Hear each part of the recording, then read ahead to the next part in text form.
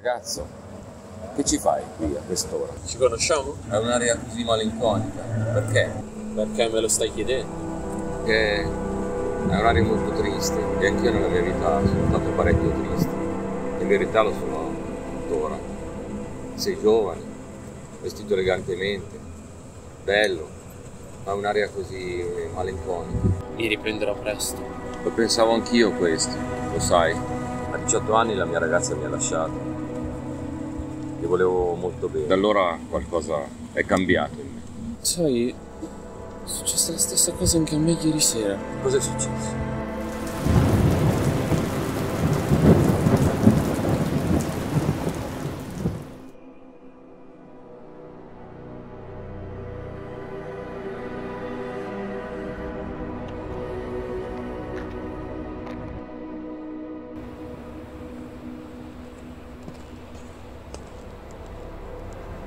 Perché me lo devi dire?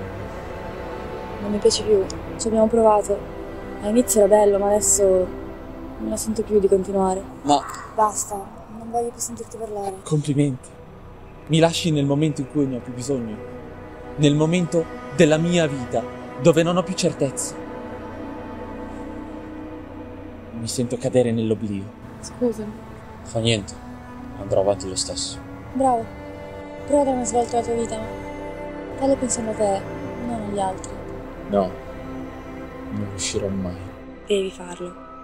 Non possiamo più stare insieme. Neanche mi saluti. No. Sei tutto bagnato.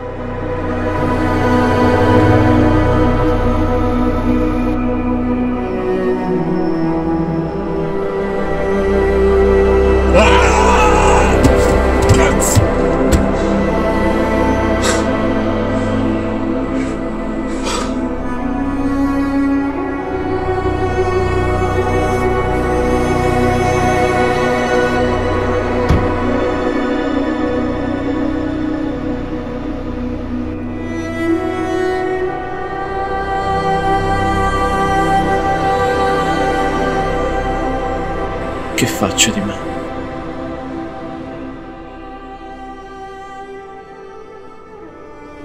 Ho iniziato a osservare il mondo e a capirlo. E a pensare, pensare, pensare e pensare. Lo fa ogni uomo. E mi è parso di capire che un uomo non ha uno scopo nella vita, ma che ci finisce dentro per caso o per errore. Perché pensi così, scusa? Perché il pensiero è male. Non è vero. Continua così nella vita e ti troverai in un sentiero senza uscita. Sarai avvolto in un'angoscia in un'insensata insoddisfazione. Non lo farò, tranquillo. Oppure segui il consiglio di mio padre. Studi, lavori, guadagni i soldi che ti servono per vivere, lavori, trovi una moglie, fai dei figli, cresci una famiglia, lavori, lavori e lavori duro, e che le forze ti mancheranno e allora potrai dire addio. La distrazione ti salverà dal pensare, così...